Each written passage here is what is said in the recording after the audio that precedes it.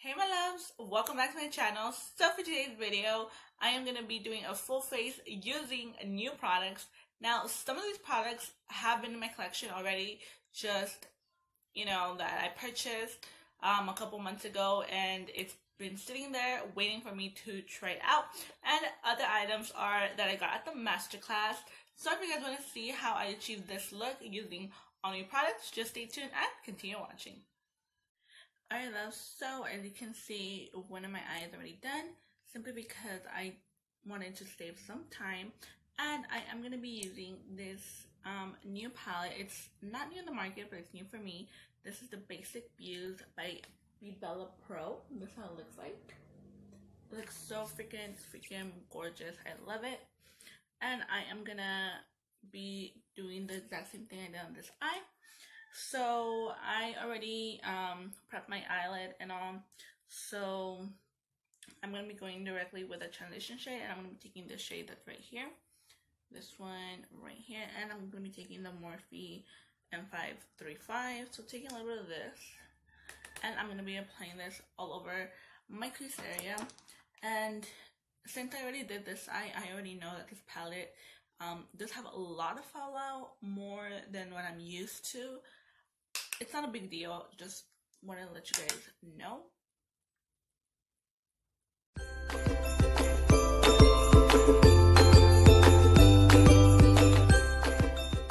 Now that I applied that shade onto the crease, I'm going to be going in with another blending brush like so. And I am going to be taking this color that's right here. This palette doesn't have any names, so I'm sorry if I'm just pointing. But taking a little bit of this and I'm going to be blending it with my first color that I applied.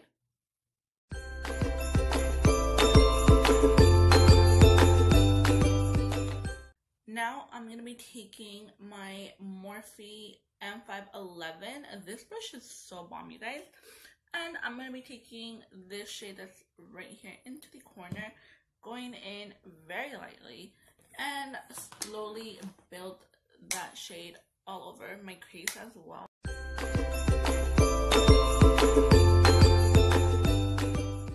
Alright love, so this is how I have it so far. I still need to clean the the corner now.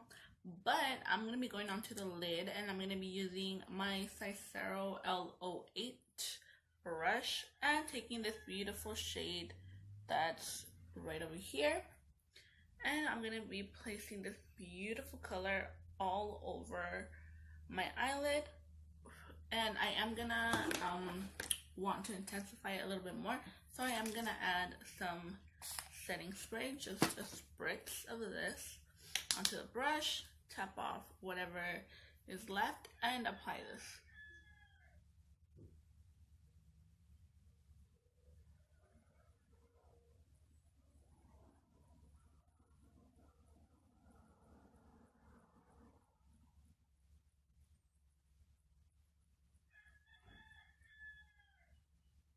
So I am done with the eyes for now. I'm going to be going straight to my face. So I'm going to be using my No Poreblem Primer by Touch in Sol, which I got in my BoxyCharm.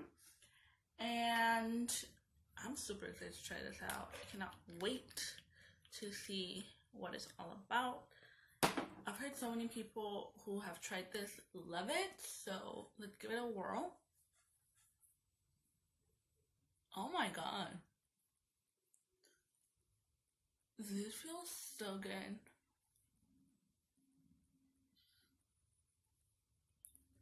This feels like a mixture between um, a moisturizer and silicone. That's the best way I could describe it. Alright, so I applied the primer and oh my goodness, you guys, it feels so good. Like, I don't know, I feel like on camera it blurred out my face and in person as well. My pores don't look humongous as they usually do, so that's a plus. Now, I was gonna go straight into foundation, but as you guys know, I attended the masterclass by Mario and um a step that he did um, on Kim. Everyone was so ooh ah, you know, and I wanted to give it a try. And um, and the step that he did was that he applied some moisturizer um after primer. So usually what I do is I apply moisturizer and then a primer, but I'm gonna be doing it the other way around. I'm gonna be using um, a moisturizer after my primer, and I'm super excited to try this baby out. This is the Tatcha the Dewy Skin Cream. Now, this is a brand new product from Tatcha, which has not been yet released, which I'm super, super excited that I am able to try it out before anyone else. This is how the inside looks like. And um, I am going to be applying a little bit of this with a dual fiber brush. So that is, I know this thing does come with a little spoon, but I want to save it, okay? Because it's that cute. But I'm going to be taking some of this. Oh my god, it feels so good. so this product was inspired by Mario. Um, that's what he mentioned that Tatcha inspired by him um, when creating this product. So, anyways, I'm gonna be applying some of this. Oh my god, you guys, this baby, wow, wow is all I have to say. I'm literally speechless because I am in love with how it applied, how it looks, etc. etc. I am so so glad that I was able to try this out. And once again, this is the Tatcha the Dewy Skin Cream. It's still not available yet, but once it is, I will link it down below. Um, but you guys, if you guys are able to afford it, because I know Tatcha is really really expensive. Um, if you guys are able to afford it, um, or even if they have a smaller size, definitely try it out. And I guarantee you, you are gonna love it, especially if you are on the drier side. Simply because I am um on the drier side currently, but I mean, about oily skin, I really don't know. But for dry skin, definitely check it out. Um, anyways, going on to my foundation. I am to be using a new foundation that's new to me, not to the market, but this is the Milani Conceal and Perfect 2-in-1 Foundation and Concealer, and I did pick up the shade 06 Sand Beige. That's how it looks like.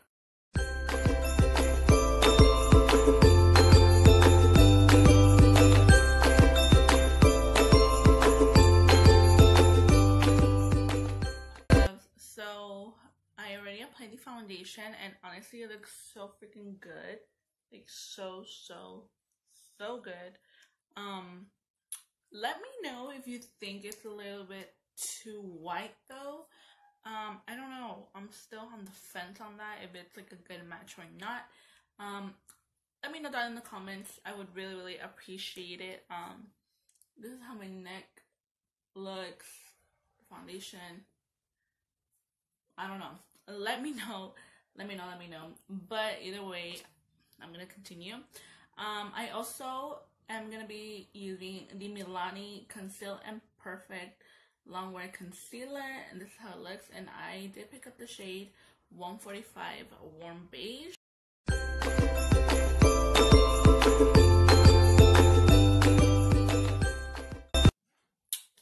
You guys this concealer is full coverage.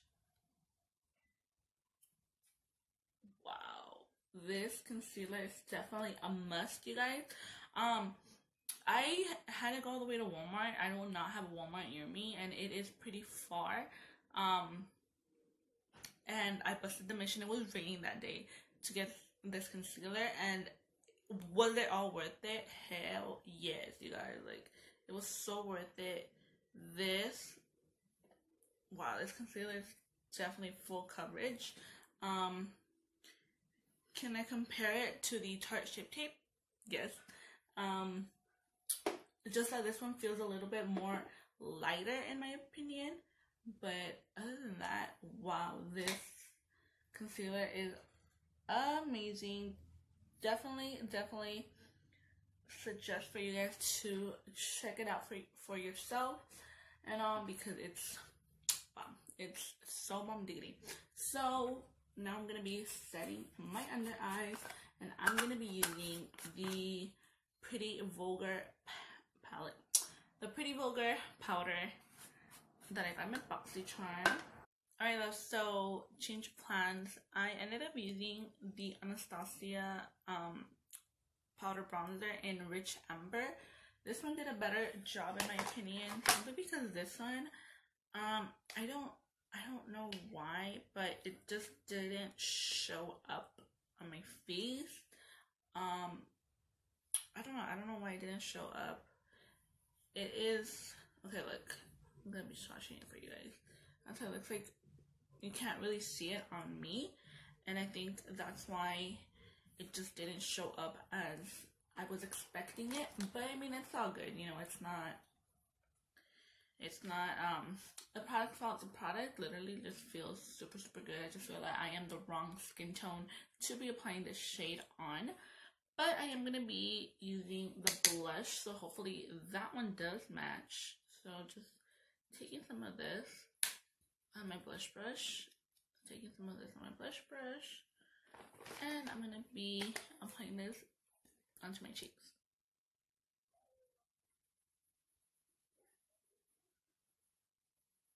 Alright love, so I applied on my eyelashes, I applied a little bit of shadow onto my waterline, added a little bit of inner corner highlight, now going on to face highlight. I'm going to be using the Pretty Vulgar um, Shimmering Swan Sparkling Sass Highlighter. And I got this in a BoxyCharm. This is how it looks. And I'm not going to lie, uh, this packaging feels really cheap. Really, really cheap. Um, this one of the Pretty Vulgar palette, palette, why not say palette? Pretty Vulgar powder. It feels more sturdy and more, um, more high-end well, this one feels like plastic, but I mean, it's all good. So I'm to be taking this with my R36, my Ride or Die brush to highlight. So taking some of this and applying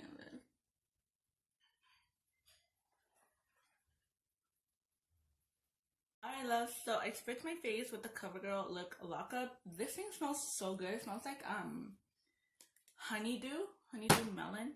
Mm, that's the closest thing I can think of. Um, I applied it over my face and then pounced my beauty sponge all over it. The highlight you can't really see anymore just because it melted, which I'm in love. I like that product actually melt into your skin. For my lips, I'm going to be using this Sweet Lips by Rodial, I think that's what it's called. And I got this in the in the bag as well. Uh, Alright my love, so this is my completed look using all new products. I hope you guys enjoyed it and I did add a gloss on top of my lip color simply because I have been more into gloss lately and a matte just lip does not do it for me anymore. Um, I'm pretty sure it's just something temporary. I'm gonna go back to wearing all matte um, later on, but for now, glossy lips is my thing. Um, but anyways, other than that, I hope you guys enjoyed this video. And please don't forget to give it a big thumbs up. And subscribe if you're not already to keep updated with my videos. I would truly, truly appreciate it. And I will see you guys in my next video. Bye, you guys.